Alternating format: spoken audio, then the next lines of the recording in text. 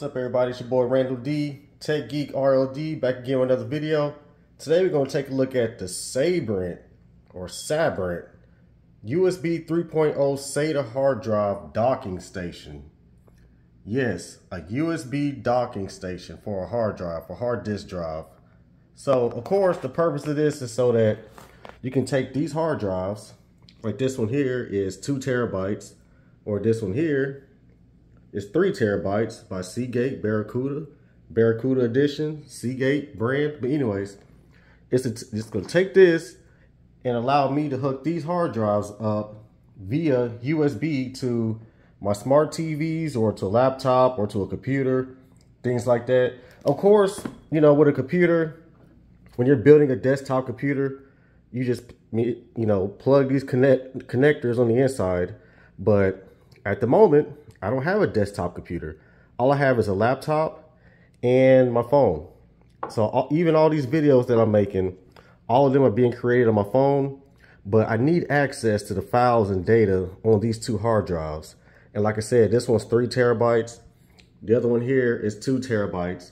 And the purpose of this is so that, you know, I got movies and music and stuff on these, and I want to be able to plug both of these devices or one of them at a time to my 4K TVs or to the Xbox or to my daughter's laptop so I can re regain access to these files. So without further ado, let's do a quick unboxing and let's see what's on the inside.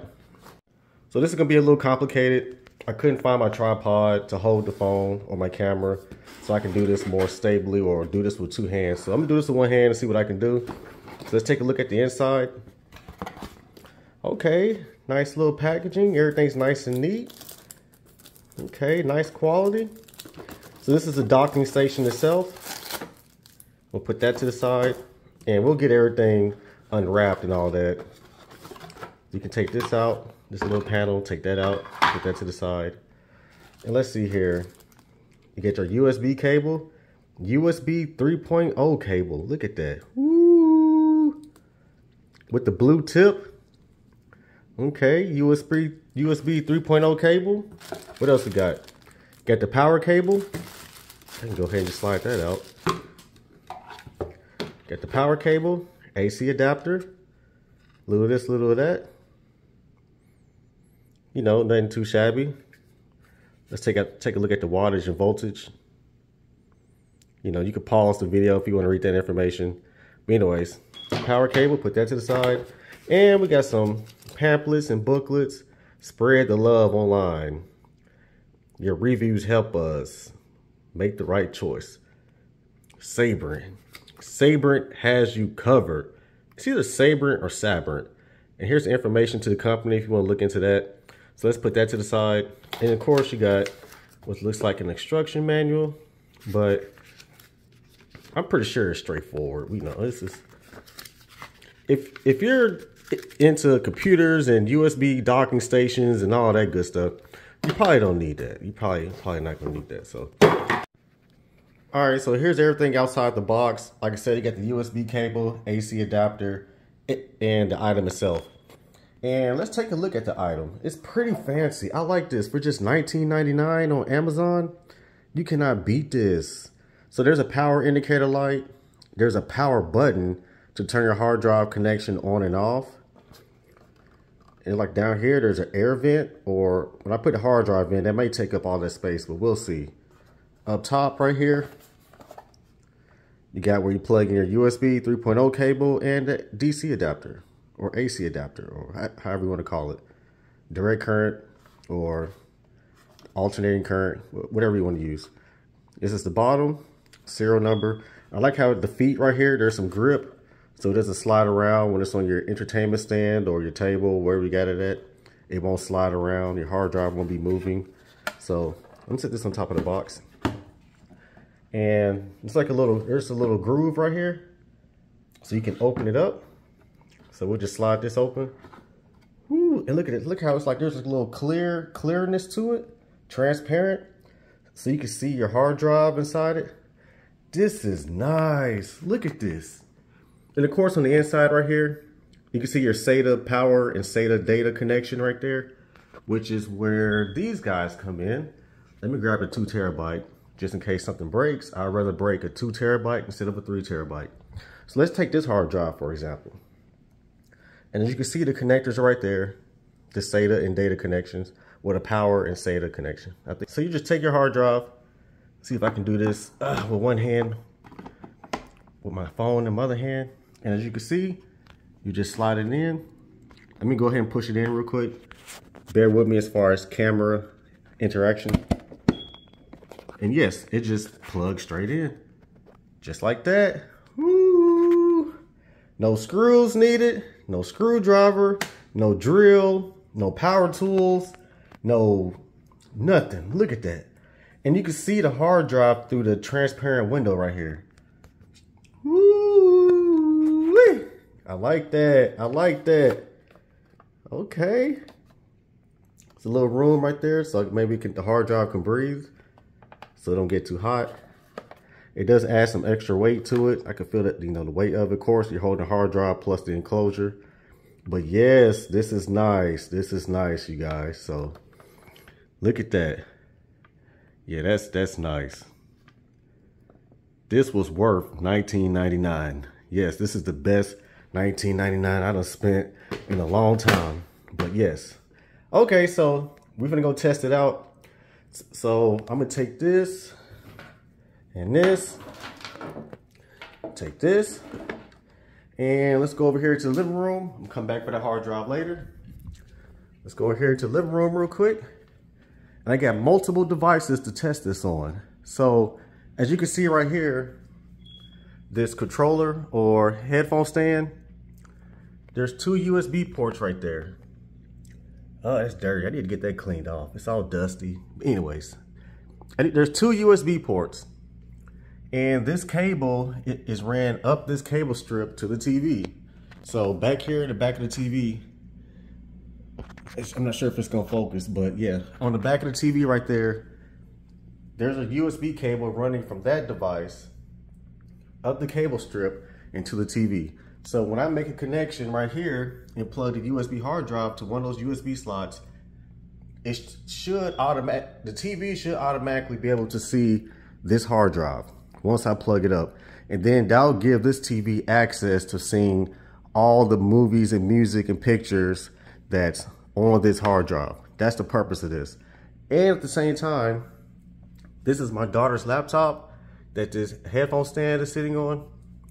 So on the side of her laptop, there's USB ports on the side where the HDMI connection is at and the ethernet connection. There's a USB port right there on the side, side of her laptop.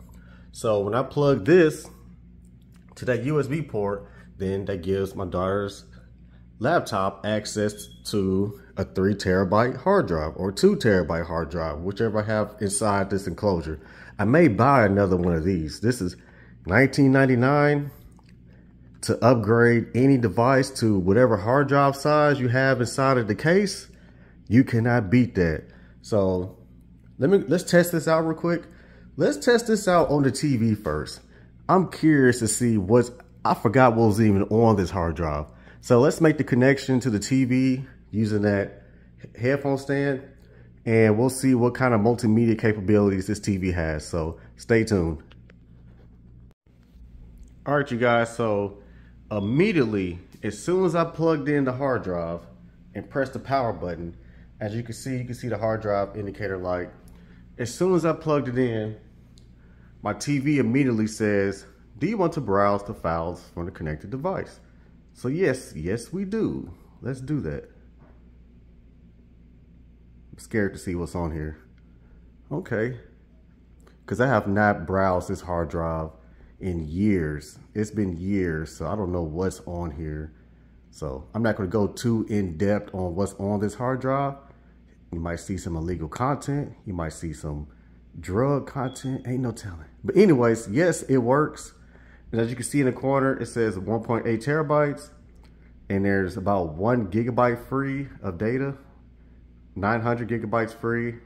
About one terabyte left out of two. And it's it's working. That's simple. So there we go. Let's click on this folder. Let's let's try to play a video. Let's see here. Uh, what videos is on here? I'm scared.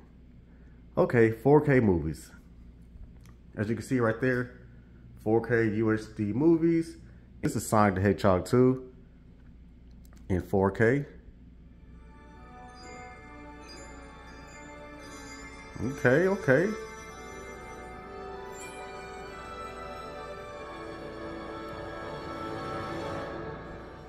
Okay, little of this, little of that.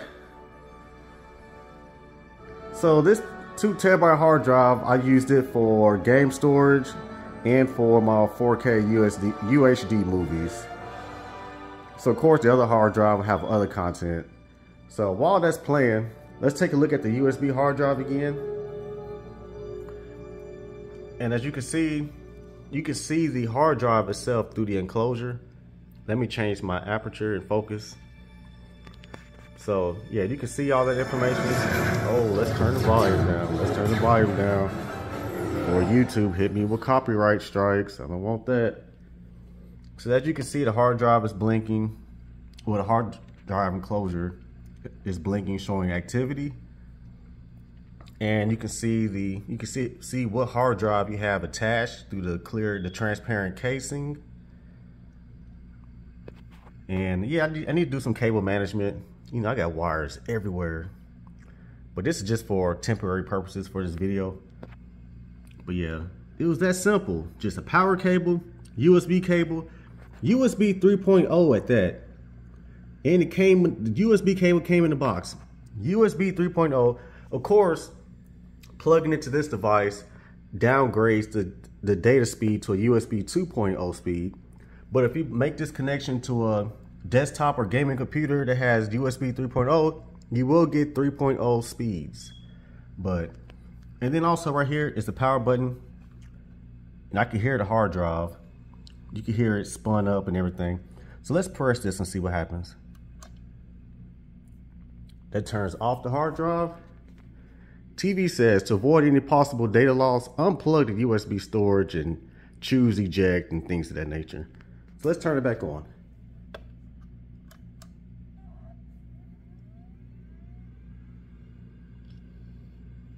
I can hear the hard drive spinning up. And it's still on media player on my TV. Indicator light is blinking. Connecting storage device. Connecting. Still connecting. Some files may not be recognizable. Do you want to open Sabrent now? Open now. Check and repair. I'll look into that later. But open now. Features of this TV. I swear. TV does everything. Come up here to Sabrent. And yes, now I'm back to my media. Let's plug it to the laptop and see what happens. It's probably gonna just recognize it as a USB thumb drive, but let's see, let's see what happens. Stay tuned. All right, so I removed the hard drive from the TV connection and now I have it plugged into my daughter's laptop. As you can see, just a simple USB connection right there. And we're gonna come back to the hard drive and we're gonna turn it on. And of course, the computer's over there. Well, the laptop is here, but the computer's right there. Well, the monitor. So let's see what happens. Power up button. Hard drive spinning up. Let me turn the volume down on the TV. Don't need that on. All right, so over here at the computer, and just like that, it pops up in Windows. Let me zoom out some. Oh, I can't, can't zoom out. But anyways, so yeah, same as what we saw on TV. It's just that now we're on the computer, fiber optic, two terabyte. Um, let's go over here to, let's go to, yeah, this PC, that's what I'm trying to get to. And as you can see, my daughter's laptop has 118 gigabytes total, which is approximately 120 gigabyte hard drive built into her laptop. But but plugging the hard USB hard drive in, now I can see the whole two terabyte hard drive as a external drive, basically. So let's go to properties. Oh my gosh, I'm trying to do this on camera. Let's go to properties. And of course, it gives you all the information that you will see as if you had, um, you know, a regular hard drive attached. Go to tools, hardware, and it has the disk information. Um, we can do security. It's, it basically acts as a hard drive, a hard disk drive on a computer. And of course, you could you could leave it hooked up and install Windows to this hard drive and boot from this disk drive if I wanted to. Um, assuming this is probably faster than what this hard drive is. Um, but of course, going in here, then I can, you know, edit all the videos and files and things of that nature. So that's about it. I mean, I mean, just to keep the video nice and simple and short, that's that's basically it. So nice enclosure, nice USB hard drive enclosure. I am impressed. There are some cheaper options on Amazon, but for this one to have the hard drive protected in a casing and the casing has a transparent window and it has a power connection to make make sure your hard drive is fully powered and getting the speeds it needs to your to, to your external devices such as a TV or even an Xbox. I mean, yeah, I could use this to expand the disk space of that Xbox right there. You know, the Series S only has 500 gigabytes, right? But if I add this to it and format it, then I can extend this, this Xbox Series S to 500 gigabyte internal space and 2 terabyte external space and install games to this. Think about that, ladies and gentlemen. Think about that. If you got this system and you're running out of space, you got to keep deleting your games. Get this, get you a cheap hard drive off of Amazon for like $50 and then get this casing for $20, so about $80, $70, you can expand the memory of your Xbox Series S or Xbox Series X and a PlayStation 5, which, whichever, whichever system you have. So it is what it is. It's your boy Randall D, Tech Geek RLD. If you like this video, hit that like button, hit that subscribe button. I'm trying to make more content. I got more content coming. You know what it is. It's your tech guy. Hit that like button, subscribe button, and I'm out. All right, y'all. Stay blessed. Oh, before I end the video, I also want to touch on something tech related.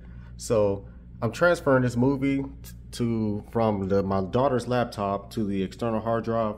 Of course, yeah, please, please mind the mess. Like, excuse the mess, you guys, but yeah. And as you can see, it's going at a good 120, 130 megabytes a second that's pretty good. I mean, that's like a, it's a 10 gigabyte. How big is this movie? I'll say it's about 10, 20 gigabyte movie. And it says it'll be done in about two minutes. That's not bad. Let me see if I can get the actual file size of this movie. Well, the actual file size is 20 gigabytes. And of course, yeah, this is Bad Boys in 4K. And it's coming in at a good speed. I mean, 120, 130 megabytes a second, and that's megabytes, not megabits. MB, capital MB. So 130 me megabytes a second. But of course, this is on USB 2.0. I don't think my daughter's laptop has USB 3.0. Um, but at USB 2.0, you can see the indicator light blinking. Copy the movie to the hard drive. So then when I plug it to the TV, it'll be full quality. So just a little tech spec, little this, little that. Okay, I'm out, y'all. Hit that like button, subscribe button. It's your boy Tech Geek RLD. Y'all know my slogan. They gonna learn today. All right, y'all.